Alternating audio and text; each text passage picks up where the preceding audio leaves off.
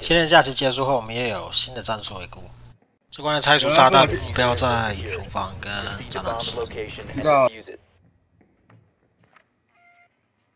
大车库，大客大客车库还是小车库？但在，而且他没有退路了，跟包围他。等一下啊，我尝试灌死他。你这太打草惊蛇了，他这样一定会逃走。我很不想射这颗榴弹，但再不射的话，我们就要逃走。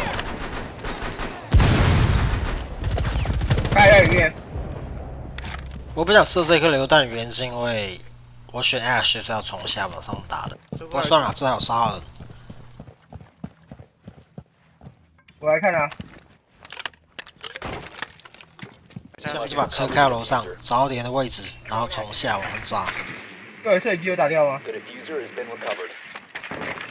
好，阿姨。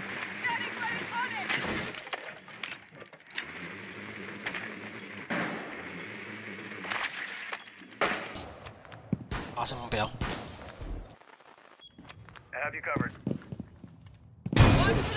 Now secured。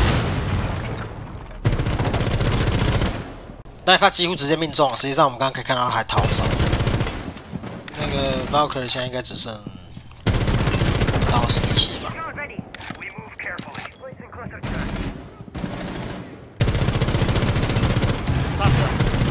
来哦，好而且还有吗？巴克在跟全阵对峙，巴克在跟全阵对峙。听起来在窗户旁边。哎，那我去后那个车库后门的地板门那一个。好了，他跑掉了，他跑掉了，巴克跑掉了。耶哥在二楼啊，靠背被抓掉。哎，这个上 Move carefully. 他撤出窗户，下一个可能会就门，或者是刚刚我们射破地板的地方看。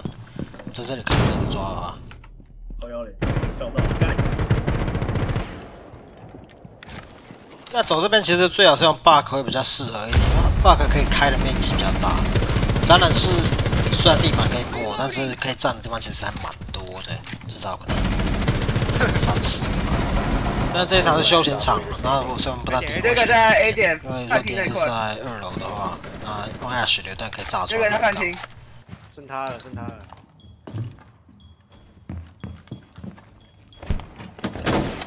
诶，装拆弹器就结束了。